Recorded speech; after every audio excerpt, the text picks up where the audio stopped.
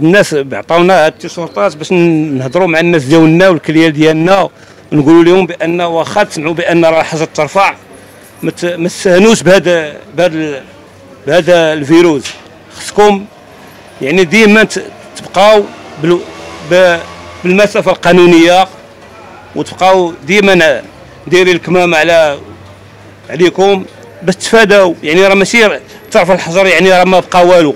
راه سال هذا المرض ولكن بغينا نقولوا للناس يتوعاو مزيان ويحترموا هاد هاد الناس وهاد السلطة اللي خدامة معنا وهاد الناس اللي تي اللي تيوعيونا. بغيناكم توعاو وتعرفوا بأن راه ماشي سال راه سال هذا الفيروس راه سال ومشى بحالته بالعكس راه دابا عاد بنادم خصو عاد دابا خص بنادم باش يعيش الحياة. عاد خصو يلتزم بهذا الشيء اللي تيتقال.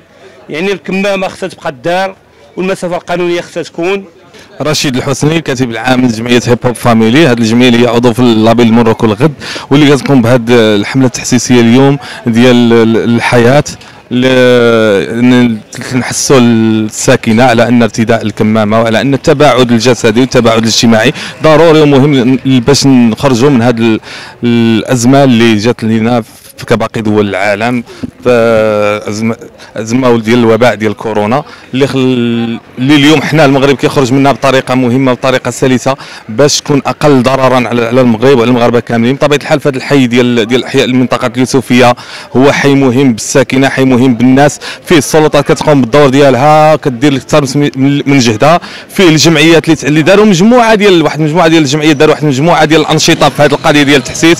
حنا بطبيعة الحال اشتغلنا طيلة مدة ديال ديال الحجر الصحي والآن عاوتاني من وراء من رفع الحجر الصحي نشتغل على هذه العملية ديال التحسيس لأن الكمامة ضرورية الناس ترتديها وضروري التباعد الجسدي بين الناس باش نقدروا نخرجوا أقل ضرر من هذا الوباء ويكون المغرب بخير.